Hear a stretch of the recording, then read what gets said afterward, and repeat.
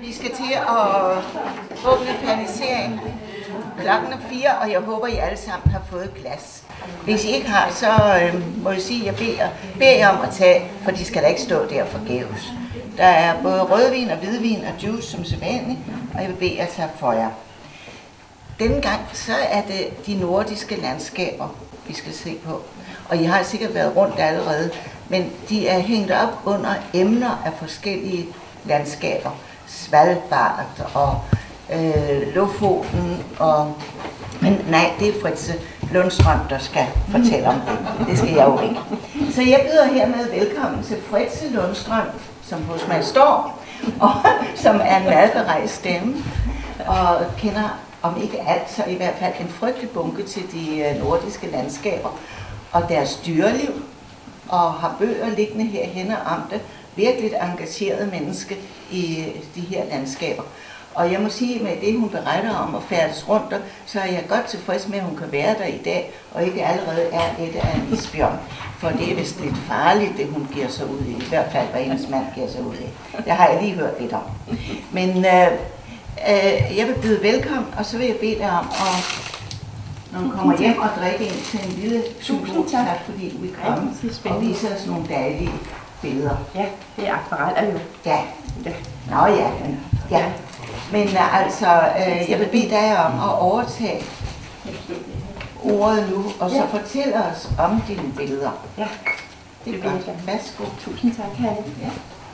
Jeg er meget glad for, at jeg måtte være, måtte være her i dag øh, og kunne vise mine akvareller. Jeg har malet øh, siden de sidste 40 år har jeg malet, men for 30 år siden, der begyndte jeg at male akvarel, og det er det, jeg brænder for.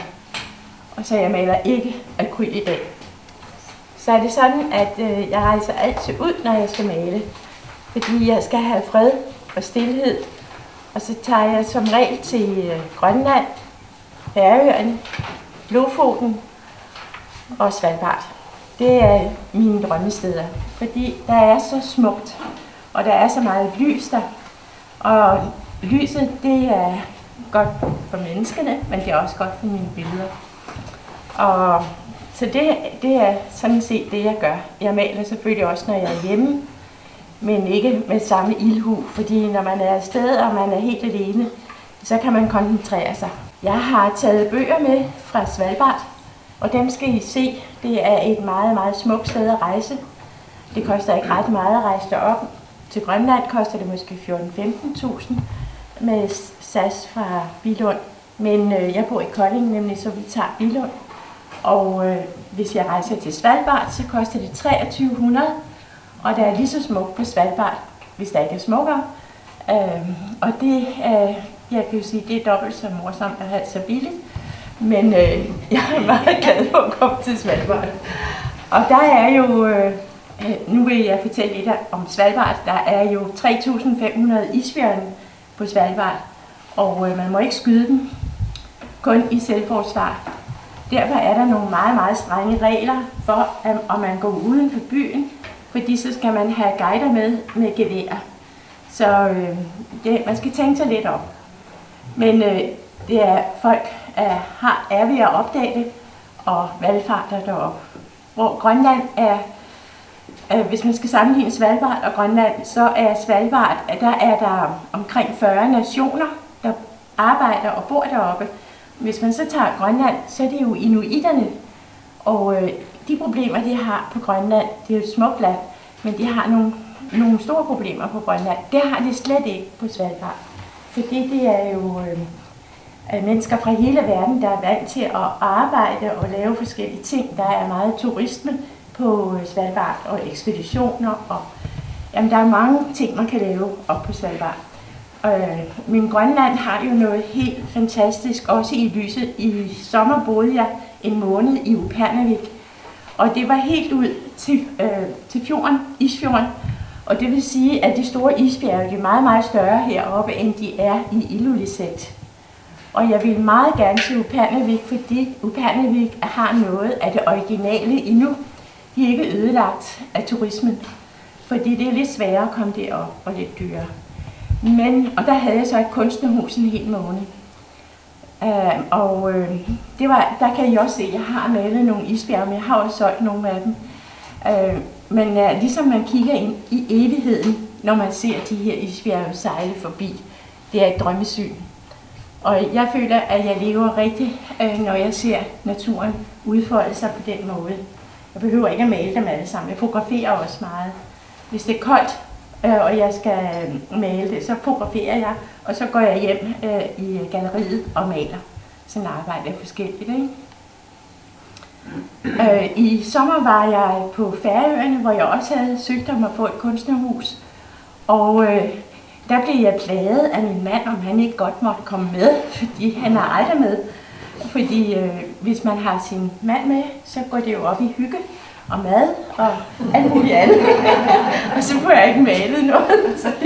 og det kan jeg jo ikke. Man kan jo ikke love, at man laver noget, og man så ikke gør det, og man får penge til det. Man skal ligesom, man skal gøre som umage. Ikke? Det er jo det, at jeg, i det mine motto, det er, gør dig umage. Så, øh, men så fik han da lov at komme med til Færøerne. Og det var smukt. Jeg har aldrig været på Færøerne før. Det er noget helt, helt andet. Og der er så saftigt grønt. Og øh, det var meget smukt. Men en ting, jeg fandt ud af deroppe, jeg solgte næsten alle mine billeder, jeg havde lavet deroppe, og det var, at de ville vide, hvor jeg havde malet det, og hvad det hed, det bjerg.